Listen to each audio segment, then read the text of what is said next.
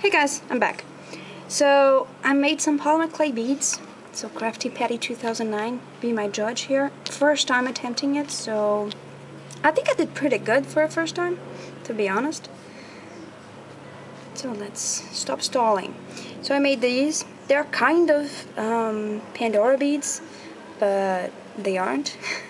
because I really, I've never seen a Pandora bead in my life, like in real life, so I don't know what size they really are.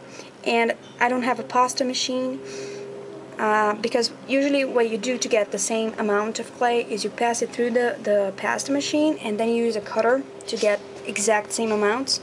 But I don't have that, and I kind of have to eyeball it, so I, I can never do it the same size. But with experience, I might. So there's that.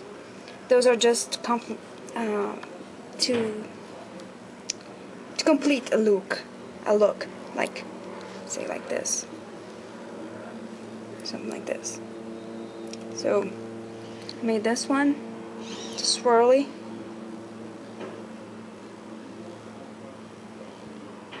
And again, I don't do canes, I'm just learning to get some effects from clay. So I think I did awesome with these things for a first time. If it will focus, of course, because the camera doesn't really like me.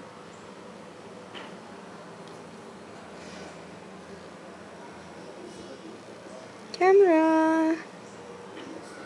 There we go.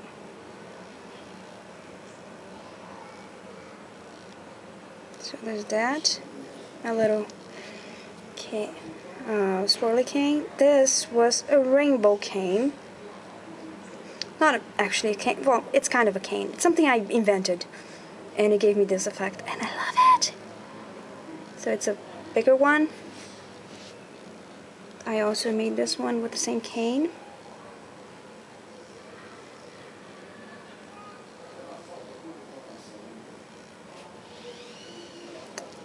I made these two with leftover clay from that bead, from these two beads. So I made these.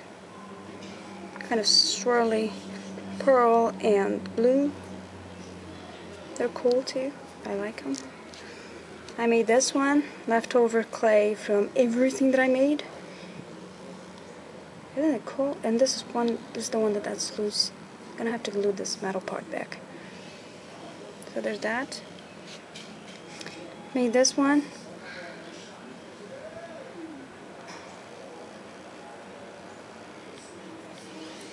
I made this huge one.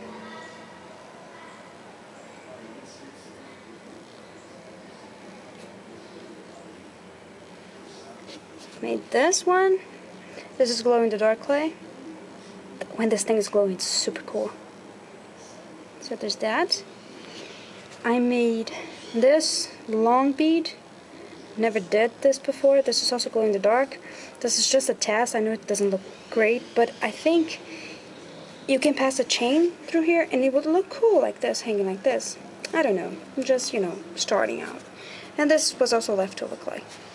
So I made kind of a tag, and I wanted to test if it's going to be um, more resistant with this metal parts, because the other one I made broke here, plaff. So I'm going to see if it doesn't. So there's that. Those are my polymer clay pieces, beads, or, you know, yeah, they're called, because this is not a bead, my beads. Crafty Patty 2009, let me know what you think, if I've been a good student so far.